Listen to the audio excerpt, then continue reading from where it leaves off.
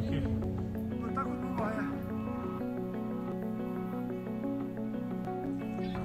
Today, more bloodshed in Ukraine.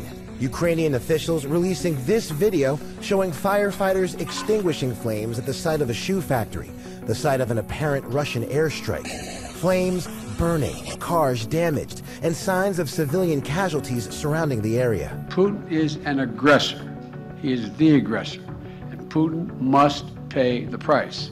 Today, President Biden warning that Russia will pay a severe price if Vladimir Putin elects to attack Ukraine with chemical or biological weapons. But he stopped short of saying if that price would include a U.S. military response against Russia. In a UN Security Council speech littered with falsehoods, Russia's ambassador to the UN accused the U.S. and Ukraine of developing chemical and biological weapons. U.S. Ambassador to the UN Linda Thomas Greenfield called the Russian.